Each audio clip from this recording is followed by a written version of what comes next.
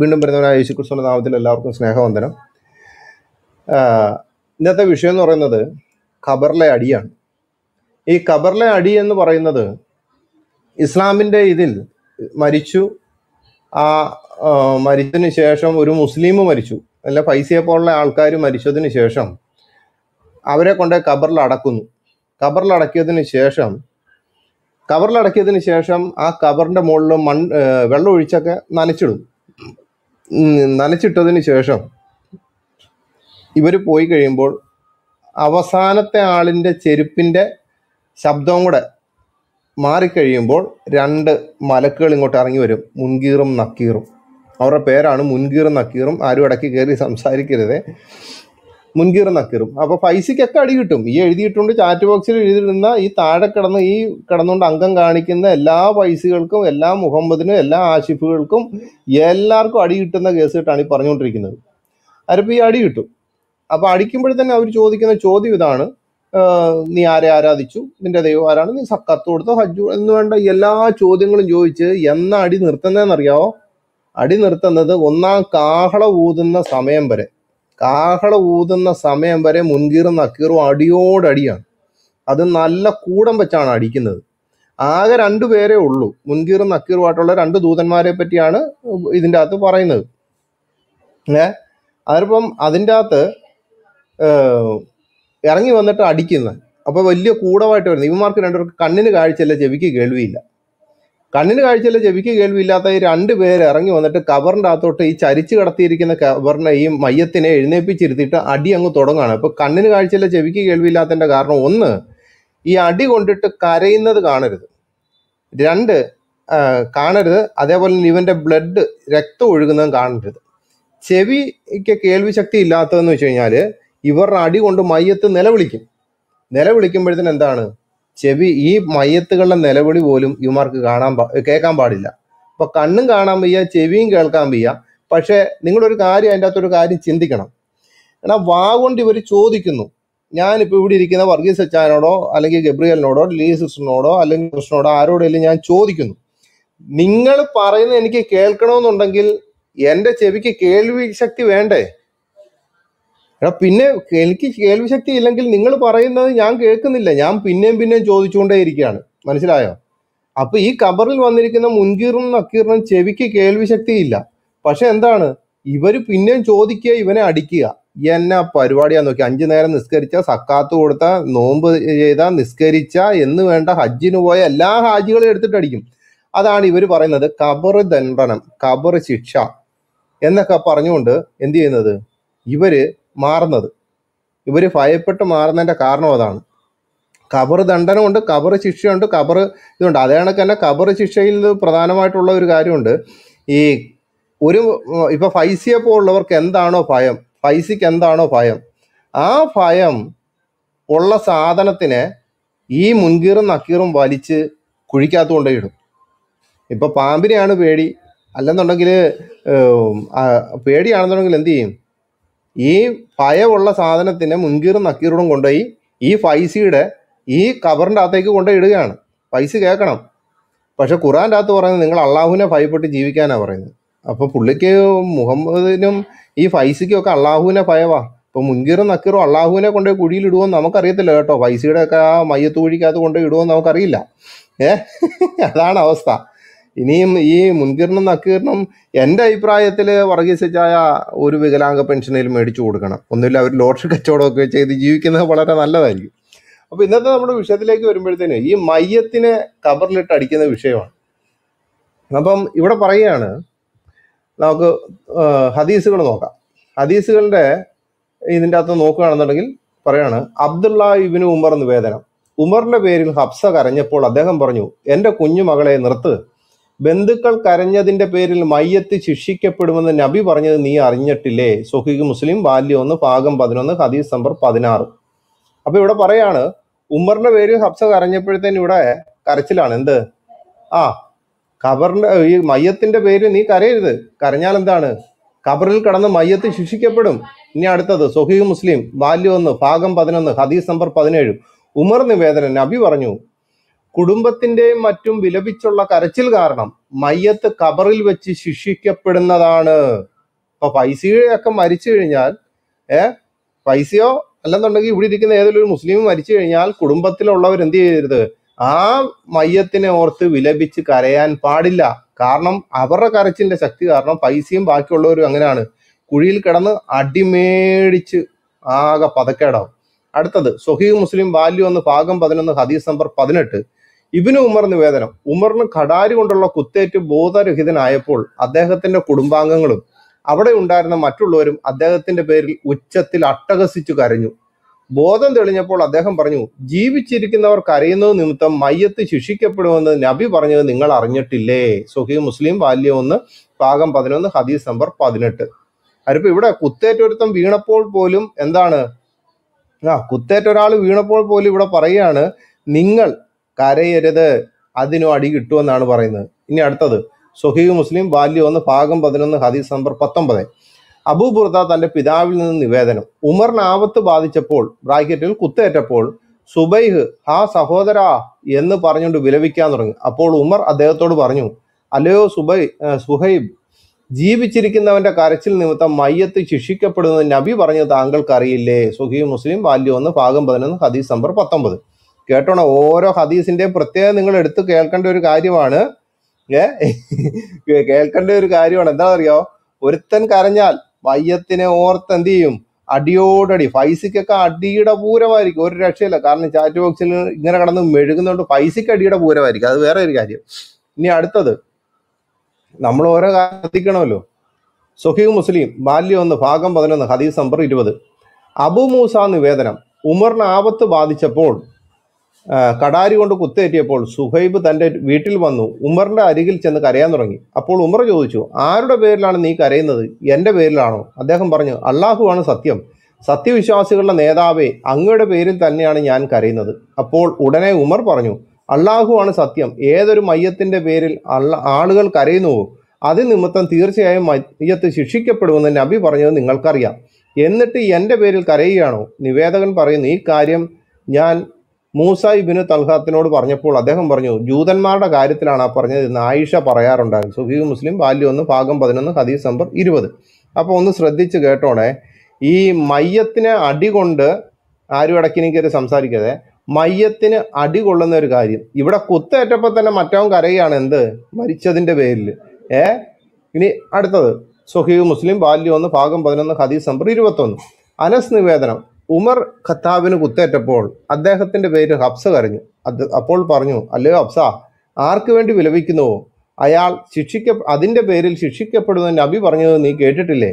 സുഹൈബും അദ്ദേഹത്തിന്റെ പേര് വിലപിച്ചു. അപ്പോൾ ഉമർ പറഞ്ഞു ഹേ സുഹൈബ് വിലപിക്കുന്നവൻ ശിക്ഷിക്കപ്പെടുമെന്ന് നിനക്കറിയില്ലേ? സുഹൈബ് മുസ്ലിം ബാല്യം ഒന്ന് ഭാഗം പതിനൊന്ന് ഹദീസ് നമ്പർ ഇരുപത്തിയൊന്ന്. അടുത്തത് സുഹൈബ് മുസ്ലിം ബാല്യം ഒന്ന് ഭാഗം പതിനൊന്ന് ഹദീസ് നമ്പർ ഇരുപത്തിനാല്. അബ്ദുള്ള ഇബ്നു- ഉമർ നിവേദനം. നബി പറഞ്ഞു ജീവിച്ചിരിക്കുന്നവന്റെ കരച്ചിൽ കാരണം മയ്യത്ത് ഖബറിൽ ശിക്ഷിക്കപ്പെടും. സുഹി മുസ്ലിം ബാല്യം ഒന്ന് ഭാഗം പതിനൊന്ന് ഹദീസ് നമ്പർ ഇരുപത്തിനാല്. അടുത്തത് സുഹി മുസ്ലിം ബാല്യം ഒന്ന് ഭാഗം പതിനൊന്ന് ഹദീസ് നമ്പർ ഇരുപത്തിയെട്ട്.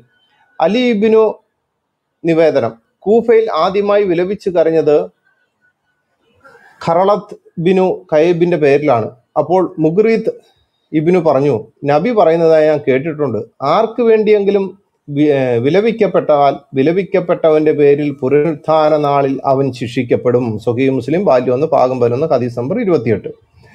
അടുത്തത് ഈ ഒരാൾ മരിച്ചതിന്റെ പേരിൽ ആരെങ്കിലും കരഞ്ഞാൽ ബന്ധുക്കൾ അങ്ങനെ കരഞ്ഞതിന്റെ പേരിൽ മരിച്ചയാൾ ഖബറിൽ വെച്ചും പിന്നെ പുനരുത്ഥാന നാളിൽ പരലോകത്ത് വെച്ചും ശിക്ഷിക്കപ്പെടും. എന്ന് മുഹമ്മദ് തന്നെയാണ് ഈ മുസ്ലിങ്ങളെ എന്ത് മുസ്ലിങ്ങളെ പഠിപ്പിച്ചത്. എന്നിട്ട് മുസ്ലിങ്ങൾ അത് വെച്ച് തന്നെ മുഹമ്മദിന് പണി കൊടുത്തിരിക്കുക എട്ടിന്റെ പണിയാണ് കൊടുത്തിരിക്കുന്നത്. കാരണം മുഹമ്മദ് കബറിൽ വെച്ചും പിന്നെ പുനരുദ്ധാരണ നാളിൽ ശിക്ഷിക്കപ്പെടണമെന്ന് എന്താണ്? ഈ ലോകത്തുള്ള സകല മുസ്ലിങ്ങളും അങ്ങനെ തീരുമാനിച്ചിട്ടുണ്ട്. കാരണം നോക്കിയിട്ട് ഒരു ഒരു ഹദീസ് ഇങ്ങനെ കൊടുക്കുന്നുണ്ട്. കാരണം ഇവർ ആഗ്രഹിക്കുന്ന ഇതാണ്. ഈ ആഗ്രഹിക്കുന്നത് വെച്ച് കഴിഞ്ഞാൽ മുഹമ്മദ് എട്ടിന്റെ പണിയാണ് മുസ്ലിങ്ങൾ തന്നെ കൊടുക്കുന്നത്. കാരണം ഈ പുള്ളിയെ കബറിലിട്ട് അടിക്കണം. കാരണം ഈ പുള്ളി മണ്ണിനടിയിലാണെന്നുള്ളത് മുഹമ്മദ് തന്നെ പറയുന്നുണ്ട്. കാരണം സുനിനു തിരുമതി അധ്യായം അൻപത് ഹദീസ് നമ്പർ മൂവായിരത്തി അറുന്നൂറ്റി പതിനഞ്ച് പേജ് തൊള്ളായിരത്തി അറുപത്തിനാല് അബൂ ഹുറയിൽ നിന്ന് അള്ളാഹുവിന്റെ ദൂതൻ പറഞ്ഞു അന്ത്യദിനത്തിൽ ആദ്യമായി ഭൂമിക്കടിയിൽ നിന്ന് പുറത്തേക്ക് വരുന്നത് ഞാനായിരിക്കും. സുന്നു തിരുമതി അധ്യായം അൻപത് ഹദീസ് നമ്പർ മൂവായിരത്തി അറുന്നൂറ്റി പതിനഞ്ച് പേജ് തൊള്ളായിരത്തി അറുപത്തി നാല് ഇനി അടുത്തത് സുന്നു തിരുമതി അധ്യായം അൻപത് ഹദീസ് നമ്പർ മൂവായിരത്തി അറുന്നൂറ്റി പതിനെട്ട് പേജ് തൊള്ളായിരത്തി അറുപത്തിനാല് അബു സയ്യിദിൽ നിന്ന് അള്ളാഹുവിന്റെ ദൂതൻ പറഞ്ഞു പുനരുത്ഥാന നാളിൽ മനുഷ്യകുലത്തിന്റെ നേതാവ് ഞാനായിരിക്കും. ഇത് പൊങ്ങച്ചമല്ല. എന്റെ കയ്യിലായിരിക്കും ലിവാഹുൽ ഹദ്. ഇത് പൊങ്ങച്ചമല്ല. ആദം മുതൽ എല്ലാ പ്രവാചകന്മാരും എന്റെ കൊടിക്കീഴിലായിരിക്കും. അന്ന് ഭൂമി പിളർന്ന് പുറത്തേക്ക് വരുന്നവരിൽ ആദ്യത്തെ ആൾ ഞാനായിരിക്കും. ഇത് പൊങ്ങച്ചമല്ല. സൊഹീഗൽ ബുഹ സൊന്നു തിർമതി അധ്യായം അൻപത് ഹദീസ് നമ്പർ മൂവായിരത്തി അറുന്നൂറ്റി പതിനെട്ട് പേജ് തൊള്ളായിരത്തി അറുപത്തിനാല്. അപ്പം മുസ്ലിങ്ങൾ തന്നെ ചിന്തിക്കുകയാണ് എന്ത്? ഈ പുള്ളിക്കിട്ട് നല്ല പണി കൊടുക്കണമെന്ന് ചിന്തിച്ചു. അപ്പോൾ വേറെ ഒരാൾ കുറച്ച് മുമ്പ് ഇവിടെ വന്നിട്ട് പറഞ്ഞു ഒരു വിറകെടുക്കാൻ പോയത് തന്നെ ഇതാണെന്ന്. ഇനി അതെന്താണ് ഇവർ ഇങ്ങനെ കൊടുക്കാനുള്ള കാരണമെന്ന് നിങ്ങൾ ചിന്തിച്ചോണം. ഞാൻ വായിക്കാം. സൊഹീഖ് മുസ്ലിം ബാല്യം മൂന്ന് ഭാഗം നാൽപ്പത്തി അഞ്ച് ഹദീസ് നമ്പർ എൺപത്തി ഒമ്പത് അബു ഹുറൈറ നിവേദനം നബി പറഞ്ഞു അല്ലാഹുവെ ഞാൻ ഒരു മനുഷ്യനാണ്. മുസ്ലിങ്ങളിൽ നിന്ന് ഞാൻ ആരെയെങ്കിലും ചീത്ത പറയുകയോ അല്ലെങ്കിൽ അടിക്കുകയോ അല്ലെങ്കിൽ ശപിക്കുകയോ ചെയ്താൽ നീ അത് അവനൊരു പരിശുദ്ധിയും കാരുണ്യവും ആക്കണമേ. സുഹീഖ് മുസ്ലിം ബാല്യം മൂന്ന് ഭാഗം നാൽപ്പത്തി അഞ്ച് ഹദീസ് നമ്പർ എൺപത്തി ഒമ്പത് അടുത്തത് സു മുസ്ലിം ബാല്യം മൂന്ന് ഭാഗം നാൽപ്പത്തി അഞ്ച് ഹദീസ് നമ്പർ തൊണ്ണൂറ്. അബു ഹുററ നിവേദനം നബി പറഞ്ഞു അള്ളാഹുവെ ഞാൻ നിന്നോട് ലംഘിക്കാത്ത ഒരു ഉടമ്പടി എടുക്കുന്നു. കാരണം ഞാൻ ഒരു മനുഷ്യനാണ്.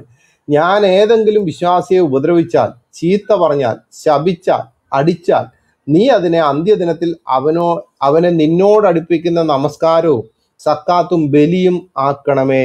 സുഹീഖ് മുസ്ലിം വാല്യം മൂന്ന് ഭാഗം നാൽപ്പത്തഞ്ച് ഹദീസ് നമ്പർ തൊണ്ണൂറ്. ലീഡർ അല്ല ബോസ് അല്ല ലീഡർ ആണെന്ന് പറഞ്ഞുകൊണ്ട് വന്ന ആളിന് ബോസിനെ ഈ പരിപാടി ചെയ്യാൻ പറ്റത്തുള്ളൂ ലീഡർക്ക് എങ്ങനെയാണ് അടിക്കാൻ പറ്റുന്നത്? അടുത്തത് സൊഹീഖൽ ബുഹാരി അധ്യായം തൊണ്ണൂറ് ഹദീസ് നമ്പർ രണ്ടായിരത്തി ഒരുന്നൂറ്റി നാൽപ്പത്തി അഞ്ച് പേജ് തൊള്ളായിരത്തി തൊണ്ണൂറ് അബു പറയുന്നു തിരുവേനി പ്രാർത്ഥിക്കുന്നത് ഞാൻ കേട്ടു. അള്ളാഹുവെ വല്ല മുസ്ലിമിനെ ഞാൻ ശകാരിച്ചിട്ടുണ്ടെങ്കിൽ അത് പുനരുദ്ധാന ദിവസം അദ്ദേഹത്തിന് നിന്നെ സമീപിക്കാനുള്ള ഒരു സുഹൃതമാക്കി കൊടുക്കണമേ. സുഹികൾ ബുഖാരി അധ്യായം തൊണ്ണൂറ് ഹദീസ് നമ്പർ രണ്ടായിരത്തി ഒരുന്നൂറ്റി നാൽപ്പത്തി അഞ്ച് പേജ് തൊള്ളായിരത്തി തൊണ്ണൂറ് ഇനി അടുത്തത് സുഹിഖ് മുസ്ലിം വാല്യം മൂന്ന് ഭാഗം നാൽപ്പത്തി അഞ്ച് ഹദീസ് നമ്പർ തൊണ്ണൂറ്റി ആറ് ഇബിനു അബ്ബാസ് നിവേദനം ഞാൻ കുട്ടികളുടെ കൂടെ കളിക്കുകയായിരുന്നു. അപ്പോൾ നബി വന്നു. ഞാൻ അപ്പോൾ ഞാൻ വാതിലിന് പുറകിൽ മറിഞ്ഞിരുന്നു. നബി വന്നു എന്നെ അടിച്ചു. എന്നിട്ട് പറഞ്ഞു നീ പോയി എനിക്ക് വേണ്ടി മുവാബിയെ വിളിക്കുക. അപ്പോൾ ഞാൻ ചെന്നിട്ട് പറഞ്ഞു അദ്ദേഹം ഭക്ഷണം കഴിക്കുകയാണ്. പിന്നെ നബി എന്നോട് പറഞ്ഞു നീ പോയി എനിക്ക് വേണ്ടി മുവാബിയെ വിളിക്കുക. ഞാൻ ചെന്നിട്ട് പറഞ്ഞു അദ്ദേഹം ഭക്ഷണം കഴിക്കുകയാണ്. പിന്നെ നബി എന്നോട് പറഞ്ഞു ചെന്ന് വിളിക്കുക. അദ്ദേഹം ഭക്ഷണം കഴിക്കുകയാണ്. നബി പറഞ്ഞു അള്ളാഹു അദ്ദേഹത്തിന്റെ വയറ് നിറയ്ക്കാതിരിക്കട്ടെ. സുഖികൾ മുസ്ലിം ബാല്യം മൂന്ന് ഭാഗം നാൽപ്പത്തി അഞ്ച് ഹദീസ് നമ്പർ തൊണ്ണൂറ്റിയാറ്. എങ്ങനുണ്ട്? മൂന്ന് പ്രാവശ്യം പോയി വിളിച്ചിട്ട് വരാത്തോണ്ട് പറയാണ് അള്ളാഹു അവന്റെ വയറ് നിറയ്ക്കാതിരിക്കട്ടെ. ആ പുള്ളി വെട്ടി വിഴുങ്ങിക്കൊണ്ടിരിക്കുക നല്ല രീതി ഭക്ഷണം കഴിച്ചുകൊണ്ടിരിക്കുക ഈ പുള്ളി വിട്ട് നിന്നിട്ട് പറയുകയാണ് ഏ അവന്റെ വയറ് നിറയ്ക്കാതിരിക്കട്ടെ എന്ന് ഇനി അടുത്തത് സൊഹീ മുസ്ലിം ബാല്യം ഒന്ന് പാകം ഒന്ന് ഹദീസ് നമ്പർ ഇരുന്നൂറ്റി മുപ്പത്തിയേഴ് ഇസ്മായിൽ ഇബിനു മുഹമ്മദ് നിവേദനം. മുഹമ്മദ് ഇബിനു സയ്യിദ് ഈ ഹദീസ് പറയുന്നത് ഞാൻ കേട്ടിരിക്കുന്നു. അദ്ദേഹം അതിൽ അദ്ദേഹം പറയുന്നു അപ്പോൾ നബി അവിടുത്തെ കൈകൊണ്ട് എന്റെ കർണക്കുറ്റിക്ക് ഒരു അടി തരികയും ശ്രദ്ധിച്ചു കേട്ടോണം അടി തരികയും അനന്തരം ഹേ സൈദേ നീ യുദ്ധത്തിന് ഒരുങ്ങുകയാണോ? ഞാൻ ചിലർക്ക് കൊടുക്കും മറ്റു ചിലർക്ക് കൊടുക്കുകയില്ല എന്ന് പറയുകയും ചെയ്തു. സുഹി മുസ്ലിം ബാല്യം ഒന്ന് ഭാഗം ഒന്ന് ഹദീസ് നമ്പർ ഇരുന്നൂറ്റി മുപ്പത്തിയേഴ് ലീഡറാണ് ബോസ് അല്ല കേട്ടോ. ലീഡറിന് എങ്ങനെയാണ് കൂടെ നിൽക്കുന്നവനെ തല്ലാൻ പറ്റുന്നത്? ബോസിനെല്ലാം അടിക്കാൻ പറ്റത്തുള്ളൂ. ഞാൻ ഹദീസ് ഒന്നുകൂടെ വായിക്കാം. സുഹീബ് മുസ്ലിം ബാല്യം ഒന്ന് പാകം ഒന്ന് ഹദീസ് നമ്പർ ഇരുന്നൂറ്റി മുപ്പത്തിയേഴ് ഇസ്മായിൽ ബിനു മുഹമ്മദ് നിവേദനം. മുഹമ്മദ് ബിനു സയ്യിദ് ഈ ഹദീസ് പറയുന്നത് ഞാൻ കേട്ടിരിക്കുന്നു. അദ്ദേഹം അതിൽ അദ്ദേഹം പറയുന്നു അപ്പോൾ നബി അവിടുത്തെ കൈകൊണ്ട് എന്റെ കർണക്കുറ്റിക്ക് ഒരു അടി തരികയും അനന്തരം ഹേ സെയ്തേ നീ യുദ്ധത്തിന് ഒരുങ്ങുകയാണോ? ഞാൻ ചിലർക്ക് കൊടുക്കും മറ്റു ചിലർക്ക് കൊടുക്കുകയില്ല എന്ന് പറയുകയും ചെയ്തു. സുഹി മുസ്ലിം ബാല്യം ഒന്ന് ഭാഗം ഒന്ന് ഹദീസ് നമ്പർ ഇരുന്നൂറ്റി മുപ്പത്തിയേഴ് അപ്പൊ നിസ്സാര കാര്യത്തിൽ പോലും തന്നെത്താൻ നിയന്ത്രിക്കാൻ കഴിയാത്ത ഒരു അനുയായിയെ ശപിക്കുകയും അടിക്കുകയും ചെയ്തിരിക്കുന്ന ക്രൂര മനുഷ്യനായിരുന്നു മുഹമ്മദ് ഈ ഹദീസുകൾ വായിച്ച മനസ്സിലാവും. തലച്ചോറ് ഏഴാം നൂറ്റാണ്ടിലെ കാറ്ററബിക്ക് പണയം വെച്ചിരിക്കാത്ത ആൾക്കാർക്ക് മനസ്സിലാകും ഈ ശപിക്കുന്നതും അല്ല. ഏ? ഈ നിവർത്തികേട് കൊണ്ടാണ് മുഹമ്മദിന്റെ പ്രാക്കും ശാപവും അടിയും തൊഴിയും എല്ലാം നിശബ്ദമായി സഹിച്ച മുസ്ലിങ്ങൾ. അത്രയും നാൾ സഹിച്ച മുസ്ലിങ്ങൾ എല്ലാത്തിനും കൂടി ഒരുമിച്ച് ചേർത്ത് മുഹമ്മദിനിട്ട് പണി കൊടുക്കുന്നതാണ് ഈ വിഷയം. അപ്പോൾ നിങ്ങൾ ചിന്തിക്കുക ഇതെന്താ? മുഹമ്മദിന് ഇത്ര നേരമായിട്ട് അടി കിട്ടുന്നതിനെ പറ്റി എന്താ പറയാഞ്ഞത് ഇതേ മുഹമ്മദിന് എന്ത് കാരണത്താലാണ് അടി കിട്ടുന്നത് എന്നുള്ളതിനെ പറ്റി പറയാം. നിങ്ങൾ ഞാൻ കഴിഞ്ഞ ദിവസം ഒരു പുസ്തകം നിങ്ങൾക്ക് പരിചയപ്പെടുത്തിയിരുന്നു. ഇഹിയ ഉലുമുദ്ദീൻ എന്ന് പറയും. ഇഹിയ ഉലുമുദ്ദീൻ എന്ന് പറയുന്ന പുസ്തകത്തിന് വളരെ ആധികാരികത. കാരണം ഖുറാൻ ഇല്ലെങ്കിൽ പോലും ലോകത്തുള്ള സകല ഖുറാൻ നശിച്ചു പോയാലും ഇഹിയ ഉലുമുദ്ദീൻ എന്ന് പറയുന്ന പുസ്തകം ഉണ്ടെങ്കിൽ ഈ പുസ്തകങ്ങൾ ഉണ്ടെങ്കിൽ ഇഹിയ ഉലുമുദ്ദീൻ എന്ന് പറയുന്ന പുസ്തകം കയ്യിലുണ്ടെങ്കിൽ ലോകത്തുള്ള സകല ഖുറാൻ നശിച്ചു പോയാൽ ഈ ഒരു പുസ്തകം മാത്രം മതി. ഇസ്ലാമിന് പിടിച്ചു നിൽക്കാൻ. അത്രയ്ക്ക് ആധികാരികതയുള്ള കാരണം മുഹമ്മദിന് ശേഷം ഇസ്ലാമിക ലോകത്തെ ഏറ്റവും കൂടുതൽ സ്വാധീനിച്ച വ്യക്തിയാണ് ഇത് എഴുതിയിരിക്കുന്നത്. എന്ന് ചില ഇസ്ലാമിക ചരിത്രകാരന്മാർ പറയുന്നത് ഇമാം അൽ ഗസാലിയെ എന്ന് വെച്ച് കഴിഞ്ഞാൽ ഗസാലിയാണ്. അദ്ദേഹത്തിന്റെ ഹിജ്റ നാനൂറ്റി അമ്പത് മുതൽ അഞ്ഞൂറ്റി അഞ്ച് വരെ. എന്ന് വെച്ചാൽ എ ഡി ആയിരത്തി അമ്പത്തി എട്ട് മുതൽ ആയിരത്തി ഒരുന്നൂറ്റി പതിനൊന്ന് വരെയാണ് പറഞ്ഞിരിക്കുന്നത്. അദ്ദേഹം ആകെ എഴുപതോളം ഗ്രന്ഥങ്ങൾ എഴുതിയിട്ടുണ്ട്. അതിൽ ഏറ്റവും പ്രസിദ്ധമായതാണ് ഇഹിയ ഉലും അൽ ദീൻ അഥവാ ഇഹിയ ഉലുമുദ്ദീൻ. എന്ന് വെച്ചാൽ മതവിജ്ഞാനത്തെ ജീവിപ്പിക്കുന്നു എന്നാണ് ആ വാക്കിന്റെ അർത്ഥം. മതവിജ്ഞാനത്തെ ജീവിപ്പിക്കുക എന്നുള്ളതാണ്. ഇസ്ലാമിക രീതി ശാസ്ത്രത്തിലെ എല്ലാ വിഷയങ്ങളും പുസ്തകം കൈകാര്യം ഖുറാന് ഹദീസിന് ശേഷം ഇസ്ലാമിക ലോകത്തെ ഏറ്റവും കൂടുതൽ സ്വാധീനിച്ച ഒരു ഗ്രന്ഥമുണ്ടെങ്കിൽ ഇമാം ഗസാലിയുടെ ഇഹ്യ ഉലുമുദ്ദീനാണ്. ഇഹ ഇഹ്യ ഉലുമുദ്ദീൻ ഒഴികെ ലോകത്തുള്ള എല്ലാ ഗ്രന്ഥങ്ങളും നഷ്ടപ്പെട്ടു പോയാലും ഏ, എല്ലാം നഷ്ടപ്പെട്ടു പോയാലും ഈ ഇഹ്യ ഉലുമുദ്ദീൻ മാത്രം മതിയെന്നാണ് ഇമാം നവമി നവവി പറഞ്ഞിരിക്കുന്നത് ഇമാ നവവി പറഞ്ഞിരിക്കുന്ന ഒരു സ്റ്റേറ്റ്മെന്റ് ഈ ഗ്രന്ഥത്തിന്റെ മലയാള പരിഭാഷ തൃശ്ശൂരുള്ള ആമിന ബുക്ക് സ്റ്റാൾ ആയിരത്തി തൊള്ളായിരത്തി എഴുപത്തി ഒമ്പത് മുതൽ പുറത്തിറക്കുന്നുണ്ട്. പരിഭാഷ നിർവഹിച്ചിരിക്കുന്നത് M V Kunha Muhammad Moulavi M F B M A മുദർസി പാടൂരാണ്. അപ്പം അദ്ദേഹത്തിന് അത്രത്തോളം ക്വാളിഫിക്കേഷനൊക്കെ ഉള്ള ആളാണ്. അതിപ്പോൾ ഈ വിഷയം ഈ ഒരു പുസ്തകത്തിലാണ് എന്ന് വെച്ച് കഴിഞ്ഞാൽ ഈ ഖുറാനും മറ്റുള്ള ഇസ്ലാമിക ഗ്രന്ഥങ്ങളും നശിച്ചു പോയാലും ഇഹിയ ഉലുമുദ്ദീൻ എന്ന് പറയുന്ന ഒരു പുസ്തകം ആ ആഷിഫ അവിടെ നിൽക്കുക അവിടെ മ്യൂട്ട് ചെയ്യാൻ ഞാൻ ഈ വിഷയം തീർത്തിട്ട് ഞാൻ അവസരം തരാം. ഇഹിയ ഉലുമുദ്ദീൻ എന്ന് പറയുന്ന പുസ്തകം അതിന്റെ ഏകദേശം അഞ്ച് വോളിയം ഞാൻ കാശ് കൊടുത്ത് മേടിച്ച് എന്റെ വെച്ചിട്ടുണ്ട്. അവർ എട്ട് വോളിയം ഇറക്കാണ് അഞ്ച് വോളിയം എന്റെ കയ്യിലുണ്ട്. നേരത്തെ നമ്മുടെ ഒരു നൂറ്റി നാൽപ്പത് പേജ് നൂറ്റി എൺപത് പേജുള്ള ഏകദേശം ഈ ഇരുപത് വോളിയം മുപ്പത് വോളിയം ഒക്കെ ആയിരുന്നു. അത് നമ്മുടെ അനിൽകുമാർ അയ്യപ്പൻ ബ്രദറിന്റെ വീട്ടിൽ ആ സാധനം ഇരിപ്പുണ്ട്. എങ്കിൽ ഇപ്പോൾ ഇത് പരിഷ്കരിച്ച് അവർ എട്ട് വോളിയം കാരണം ഇത്രയും പുസ്തകങ്ങളുടെ ഒരുപാട് കോപ്പി ആയതുകൊണ്ട് വിറ്റുവാനുള്ള ബുദ്ധിമുട്ടുണ്ടായിരിക്കാം. അവർ എട്ട് കോപ്പി ആക്കുന്നുണ്ട്. എട്ട് വോളിയം ആക്കുകയാണ്. അതിലിപ്പോൾ അഞ്ച് വോളിയം ഞാൻ കാശ് കൊടുത്ത് മേടിച്ച എന്റെ ഇരിപ്പുണ്ട്. അപ്പോൾ ആ പുസ്തകത്തിന്റെ അകത്ത് ഇഹിയ ഉലുമുദ്ദീൻ വാല്യം മുപ്പത്തഞ്ച് പേജ് ഇരുന്നൂറ്റി പന്ത്രണ്ട് ആയിരത്തി തൊള്ളായിരത്തി തൊണ്ണൂറ്റി ആറിൽ ഇറക്കിയിരിക്കുന്ന എഡിഷന്റെ അകത്ത് പറയണം. ആയിഷ പറയുന്നു നബി മരണപ്പെട്ടു. മുഹമ്മദ് ഒരു നബി അല്ലാന്ന് ഞാൻ ഖുറാൻ കൊണ്ട് ഹദീസ് കൊണ്ടും തെളിയിച്ചിരിക്കുന്നത് കൊണ്ട് ഞാൻ മുഹമ്മദ് എന്നെ നബി എന്ന് പറയുന്ന ഭാഗത്ത് മുഹമ്മദ് എന്നേ പറയത്തുള്ളൂ. കാരണം അദ്ദേഹം നബി അല്ല എന്നുള്ള ഞാൻ തെളിയിച്ചിരിക്കുന്നു. അതിന്റെ ഇതാണ്. ഞാനെന്നല്ല ഇവിടെ ഇരിക്കുന്ന ക്രൈസ്തവ സഹോദരന്മാർ ഈ വിഷയത്തെ പറ്റി അറിയാവുന്ന ആൾക്കാർ അത് തെളിയിച്ചിരിക്കുന്നുണ്ട് ഞാൻ മുഹമ്മദ് എന്നേ പറയത്തുള്ളൂ. ആയിഷ പറയുന്നു നബി മരണപ്പെട്ടു. വീട്ടിലുള്ളവരുടെ കരച്ചിൽ ശബ്ദം ഉയർന്ന ഘട്ടത്തിൽ നാനാ ഭാഗങ്ങളിൽ നിന്ന് ജനങ്ങൾ അവിടെ സമ്മേളിക്കുകയും നബിയുടെ വസ്ത്രം കൊണ്ട് തന്നെ മുടി നബിയുടെ വസ്ത്രം കൊണ്ട് തന്നെ മൂടിയിടുക ഇടപെടുകയും ചെയ്തപ്പോൾ ജനങ്ങൾ വ്യത്യസ്ത അഭിപ്രായക്കാരായി തീർന്നു. ഇഹിയ ഉലുമുദ്ദീൻ വാല്യം മുപ്പത്തഞ്ച് പേജ് ഇരുന്നൂറ്റി പന്ത്രണ്ട് ആയിരത്തി തൊള്ളായിരത്തി തൊണ്ണൂറ്റി ആറ് എഡിഷൻ ഇനി അടുത്തത് കേട്ടോണം. അപ്പം നിങ്ങൾ വിചാരിക്കും ഇവിടെ ഇവിടെ മുഹമ്മദിന്റെ മരണം കണ്ടിട്ട് ആരും കരഞ്ഞില്ലല്ലോ എന്ന്. അപ്പോൾ നമുക്ക് കേൾക്കാം. ഇഹിയ ഉലുമുദ്ദീൻ വാല്യം മുപ്പത്തഞ്ച് പേജ് ഇരുന്നൂറ്റി പതിനെട്ട് ആയിരത്തി തൊള്ളായിരത്തി തൊണ്ണൂറ്റി ആറിന്റെ എഡിഷൻ നബീസ മരണപ്പെട്ടു എന്നുള്ള വാർത്ത കേട്ടതായി അബുബക്കർ സിദ്ദിഖ് വീട്ടിലേക്ക് പ്രവേശിച്ചു. പ്രവേശിക്കുകയും നബിയുടെ പേരിൽ സ്വലാത്ത് ചെല്ലുകയും അള്ളാഹുവിനെ സ്തുതിക്കുകയും ചെയ്തപ്പോൾ വീട്ടിലുള്ളവരെല്ലാവരും അട്ടഹസിച്ച് നിലവിളിച്ചു. മദീനയുടെ വെളിയിലുള്ള മുസല്ലയിൽ താമസിക്കുന്നവർ പോലും അത് കേൾക്കുകയുണ്ടായി. അദ്ദേഹം എന്തെങ്കിലും പറയുമ്പോഴും അവരുടെ കരച്ചിൽ വർദ്ധിച്ചു കൊണ്ടിരുന്നു ഇഹിയ ഉലുമുദ്ദീൻ വാല്യം മുപ്പത്തഞ്ച് പേജ് ഇരുന്നൂറ്റി പതിനെട്ട് ആയിരത്തി തൊള്ളായിരത്തി തൊണ്ണൂറ്റി ആറിന്റെ എഡിഷൻ മനസ്സിലായല്ലോ? അരപ്പം ഞാൻ ആദ്യമേ ഒരു ഹദീസ് വായിച്ചിട്ടാണ് തുടങ്ങിയത്. എന്ത്? ആ മയ്യത്തിനെ ഓർത്ത് ആരെങ്കിലും കരഞ്ഞാൽ ആ മയ്യത്തിന് എന്ത് ചെയ്യും? ആ അവിടിട്ട് അടിക്കുമെന്ന് പറഞ്ഞിരിക്കുന്നത്. അപ്പോൾ മുഹമ്മദിന്റെ മരണം നടന്നപ്പോൾ മുഹമ്മദിന്റെ വീട്ടിലുള്ളവരല്ല എന്ത് ചെയ്തു? കരഞ്ഞു. അട്ടഹസിച്ചു നിലവിളിച്ചു. മദീന പട്ടണത്തിന്റെ വെളിയിലുള്ള ആൾക്കാർ പോലും അത് കേൾക്കുണ്ടായി. എന്ന് ഇമാം ഗസാലി വളരെ വ്യക്തമായി തന്നെ എഴുതിയിരിക്കുന്നത് ഞാൻ വായിച്ചത് നിങ്ങൾ ശ്രദ്ധിക്കാണല്ലോ. ഇതിലെന്താണ് ഇത്ര വലിയ കുഴപ്പം എന്നായിരിക്കും നിങ്ങൾ ചിന്തിക്കുന്നുണ്ടെങ്കിൽ ഞാൻ ആദ്യം വായിച്ച ഹദീസ് ഒന്നുകൂടെ വായിക്കാം. അത് ശ്രദ്ധിച്ച് കേട്ടോണം. ഉമർ നിവേദന നബി പറഞ്ഞു കുടുംബത്തിന്റെയും മറ്റും വിലപിച്ചുള്ള കരച്ചിൽ കാരണം മയ്യത്ത് കബറിൽ ശിക്ഷിക്കപ്പെടുന്നതാണ്. സുഹീഖ് മുസ്ലിം ബാല്യം ഒന്ന് ഭാഗം പതിനൊന്ന് ഹദീസ് നമ്പർ പതിനൊന്ന്. എന്നെ കേട്ട പ്രിയ ശ്രോതാക്കളെ നിങ്ങൾ ഇനി ഒന്ന് ചിന്തിച്ചേ. ഈ മുഹമ്മദിന് എത്രത്തോളം അടി കിട്ടിയിട്ടുണ്ട്? ഇപ്പൊ കിട്ടിക്കൊണ്ടിരിക്കുകയാണ്. കാരണം ഇമാം ഗസാലിയുടെ ഈ പുസ്തകത്തിന്റെ അകത്ത് ഇഹ്യ ഉലുമുദ്ദീൻ എന്ന് പറയുന്ന പുസ്തകത്തിന്റെ അകത്ത് ആ നാട്ടിലുള്ളവരും ആ വീട്ടിലുള്ളവരും ആ നാട്ടിലുള്ളവരും അടുത്ത സ്ഥലത്തുള്ളവരും മുഹമ്മദിന്റെ മരണവാർത്ത കേട്ട് കരഞ്ഞിട്ടുണ്ടെങ്കിൽ മൂന്ന് ദിവസത്തോളം കരഞ്ഞു. കാരണം അടക്കുന്ന സമയം വരെ കരഞ്ഞു. ആ കരയുന്ന സമയത്ത് നിങ്ങളൊന്ന് ആലോചിച്ച് നോക്കിയേ. എത്രത്തോളം അടി ലഭിച്ചിട്ടുണ്ടായിരിക്കാം? എത്രത്തോളം അടി ലഭിച്ചിട്ടുണ്ടായിരിക്കാം? ഇതാണ് പറയുന്നത് അടിയുടെ പൂരമാണ്. പൂരം എന്ന് പറഞ്ഞു കഴിഞ്ഞാൽ പൂരമാണ്. മനസ്സിലായോ? വളരെ പൂര അടിയാണ്.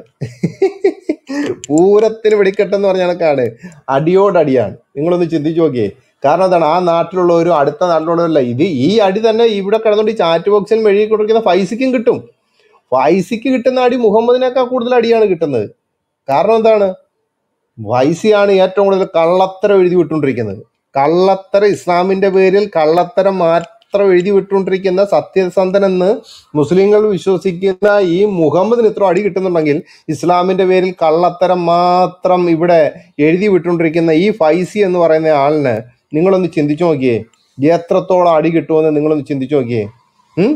ഫൈവ് സി ടി എം നൂറ്റി ഇരുപത്തി മൂന്നെന്നും പറഞ്ഞുകൊണ്ട് ഈ ഫേസ്ബുക്ക് ഈ ക്ലബ് ഹൗസിൽ വന്നിരുന്നുണ്ട് ഇങ്ങനെ കള്ളത്തരം എഴുതി വിട്ടുകൊണ്ടിരിക്കുന്ന ഫൈസിയെ എത്രത്തോളം അടി കൊടുക്കുമെന്ന് നിങ്ങളൊന്ന് ചിന്തിച്ചു നോക്ക്. പക്ഷെ കർത്താവായ യേശു ക്രിസ്തു എവിടെയാണ് മരിച്ചതിന് ശേഷം നിങ്ങളുടെ ശരീരത്തെ എടുത്തിട്ട് അടിക്കുമെന്ന് പറഞ്ഞത്? എവിടെയെങ്കിലും പറഞ്ഞിട്ടുണ്ടോ? ഇനി യേശു ക്രിസ്തുവിന്റെ കൂട്ടത്തിൽ ക്രൂശിക്കപ്പെട്ട ഒരു കള്ളൻ. കള്ളനോട് എന്താ പറഞ്ഞേ? ആ നീ എന്റെ കൂടെ പ്രതീക്ഷയിലായിരിക്കും എന്നാണ് പറഞ്ഞത്. അതുകൊണ്ട് എന്നെ കേട്ട പ്രിയ സഹോദരങ്ങളെ ശരീരത്തെ ദണ്ണിപ്പിച്ച് ആത്മാവിനെ ദണ്ണിപ്പിക്കുന്ന ഈ പരിപാടി നിങ്ങൾ നിർത്തുക. അല്ല നിങ്ങളുടെ ശരീരത്തെ തന്നെ നിങ്ങൾക്ക് ആത്മാവില്ലല്ലോ. പൈസയെ പോലുള്ളവർക്ക് ആത്മാവില്ലല്ലോ. പൈസ എന്ന് പറഞ്ഞത് ലോക ഇസ്ലാമിനെ ഇത്രത്തോളം കള്ളത്തരം എഴുതി വിടുന്ന ഒരു കള്ളനായ വ്യക്തിയാണ് ഈ ക്ലബ് ഹൗസിൽ ഇരുന്നുകൊണ്ട് ഈ ചാറ്റ് ബോക്സിൽ എഴുതി വിട്ടിട്ടുണ്ട് ഫൈസ് എന്ന് പറയുന്നത് ഇസ്ലാമിന്റെ പേരിൽ കള്ളത്തരം മാത്രം പടുത്തുയർത്തുന്ന ഒരാളാണ്. കള്ളത്തരം മാത്രം സത്യസന്ധമായി സംസാരിക്കാൻ കഴിവില്ലാത്ത ഒരു വ്യക്തിയാണ് ഫൈസി എന്ന് പറയുന്ന ആൾ. അതിപ്പോൾ അതിപ്പോ ഈ കൂടം വെച്ച് ഈ ഫൈസിക്ക് എന്ത് വേണ്ടി അടി കിട്ടുമെന്ന് നിങ്ങൾ ചിന്തിച്ചു നോക്കിയേ. ഫൈസിയുടെ കള്ളത്തരങ്ങൾ എത്രത്തോളം വലുതാണ് നിങ്ങൾ ചിന്തിച്ചു നോക്കിയേ. എന്നെ കേൾക്കുന്ന ആൾക്കാർ അതിപ്പോ ഞാൻ പറയുന്ന ഫൈസിയെ പോലുള്ളവരോട് നിങ്ങൾ നിങ്ങൾ ഇത്ര എന്നുള്ള അഞ്ചു നേരം നിസ്കരിച്ച് സക്കാത്ത് നോമ്പ് ഹജ്ജ് ഇതെല്ലാം ചെയ്തതിന് ശേഷം നിങ്ങൾ എന്തിനാണ് ഈ കബറിൽ അടിമേടിക്കാൻ പോകുന്നത് ഫൈസി? പൈസ എന്തിനാണ് ഇങ്ങനെ കബറിൽ കിടന്ന് അടിമണി പൈസയും പൈസയുടെ കുടുംബത്തിലുള്ളവരും പൈസയുടെ മക്കളും ഭാര്യ എല്ലാവരും ദീനിയായിട്ടുള്ള എല്ലാവരും എന്തിനാണ് ഈ മുൻകീറിന്റെ നക്കീറിന്റെ അടിമേടിക്കാൻ ദണ്ട് കൊണ്ട് അടിമേടിക്കാൻ പോകുന്നത്? നിങ്ങൾ ക്രിസ്തുവിന്റെ മാർഗത്തിലേക്ക് നോക്കൂ. ശരീരത്തെ അല്ല ആത്മാവിനെ ഇത് ചെയ്യാൻ പറ്റുന്ന ആളിലേക്ക് തിരിയൂ. കാരണം നിങ്ങൾക്ക് ആത്മാവില്ലല്ലോ. അള്ളാഹുവിന് ആത്മാവുണ്ടോ? അള്ളാഹുവിന് രൂപം എന്താണ്? അള്ളാഹു ആരാണ്? അതുപോലെ നിങ്ങൾക്കറിയത്തില്ല. അതുകൊണ്ട് പൈസയോട് പറയാണ് പൈസ ഇങ്ങനെ ഇത്രത്തോളം ബുദ്ധിയില്ലായ്മ എഴുതി വിടുകയും എന്നാൽ ബുദ്ധി കൊണ്ട് ഭാവിക്കുകയും ചെയ്യുന്ന താങ്കളുടെ ചെവിയുടെ പുറകിലല്ല ഈ അടി നടക്കാൻ പോണത്? അതുകൊണ്ട് ഈ അടി മേടിച്ച് ഈ ജീവിതത്തിലും അടി ജീവിച്ചിരിക്കുന്ന സമയത്തും അടി മേടിക്കുക മരിച്ചു കഴിഞ്ഞാൽ അടി മേടിക്കുക ഈ പ്രക്രിയയിൽ നിന്ന് മാറി നിൽക്കുക. കർത്താവായ യേശു ക്രിസ്തുവിന്റെ പിന്നാലെ വഴിയും സത്യവും ജീവനുമാണ് ക്രിസ്തുവിന്റെ പിന്നാലെ സഞ്ചരിക്കുക. സകല മനുഷ്യർക്കും വേണ്ടിയായി യേശു ക്രിസ്തു അടിമേടിച്ചു ഭൂമിയിൽ വേഷത്തിൽ പാവം ഒഴികെ മനുഷ്യനായി വന്നപ്പോൾ എന്റെ കർത്താവ് അടിമേടിച്ചു. ഭൂമിയിലെ സകല മനുഷ്യർക്കും വേണ്ടി. അവൻ കുന്തത്താൽ കുത്തപ്പെട്ടു. ഭൂമിയിലെ സകല മനുഷ്യരുടെയും പാവങ്ങൾക്കായിട്ട് അവന് മുഖത്ത് തുപ്പേറ്റു. ഭൂമിയിലെ സകല മനുഷ്യരുടെയും പാവങ്ങൾക്കായിട്ട് ഏ? അവന്റെ വിലാപ്പുറത്ത് കുത്തി. സകല മനുഷ്യരുടെയും പാവങ്ങൾക്കായിട്ട് അതേപോലെ അവന്റെ വസ്ത്രം ചീട്ടിട്ടെടുത്തു. പ്രവാചക നിവൃത്തിയോടുകൂടി തന്നെ ആ വസ്ത്രം ചീട്ടിട്ടെടുത്തു. എന്ത്? സകല മനുഷ്യരുടെയും പാവങ്ങൾക്കായിട്ട് ഇത് മൊത്തം എന്റെ കർത്താവ് അനുഭവിച്ചതാണ്. ഭൂമിയിൽ വേഷത്തിൽ മനുഷ്യനായി പാമൊഴികെ വേഷത്തിൽ മനുഷ്യനായി ഭൂമിയിലേക്ക് വന്നപ്പോൾ ഇത് മൊത്തം അനുഭവിച്ചു. അത് ഈ സംസാരിക്കുന്ന എന്റെയും എന്നെ കേൾക്കൊണ്ടിരുന്ന നിങ്ങളുടെയും ഈ മുഹമ്മദിന്റെയും ഇപ്പോൾ ചാറ്റ് ബോക്സിൽ ഇസ്ലാമിനെ പറ്റി കള്ളത്തരം മാത്രം പ്രചരിപ്പിച്ചുകൊണ്ടിരിക്കുന്ന ഫൈസി എന്ന വ്യക്തിയുടെയും പാപങ്ങൾക്ക് വേണ്ടി മാത്രമാണ്. അല്ല വേറെ ഒന്നിനും വേണ്ടിയല്ല. അതുകൊണ്ട് എന്നെ കേട്ട പ്രിയ സുഹൃത്തുക്കളെ ഇങ്ങനെ അടിമേടിച്ച് കബറിൽ കിടന്ന് അടിമേടിച്ച് ജീവിതം നരയിക്കാതെ ആ ഒരു ഭീതിയോടുകൂടി ഈ ഈ ഭൂമിയിൽ ജീവിക്കാതെ നിങ്ങളെ സ്വതന്ത്രനാക്കുന്ന ഏ ക്രിസ്തുവേശുവിന്റെ ആ സ്വാതന്ത്ര്യത്തിലേക്ക് ക്രൂശിക്കപ്പെട്ട ക്രിസ്തു നിങ്ങളെ സ്വതന്ത്രമാക്കിയിരിക്കാൻ നിങ്ങൾ ആ സ്വാതന്ത്ര്യത്തിലേക്ക് വരിക. കർത്താവായ യേശു ക്രിസ്തു നിങ്ങളെല്ലാവരെയും അനുഗ്രഹിക്കട്ടെ എന്ന് പറഞ്ഞുകൊണ്ട് എന്റെ വിഷയവർണം നിർത്തുന്നു. എല്ലാവരെയും ദൈവം ധാരാളമായി അനുഗ്രഹിക്കട്ടെ.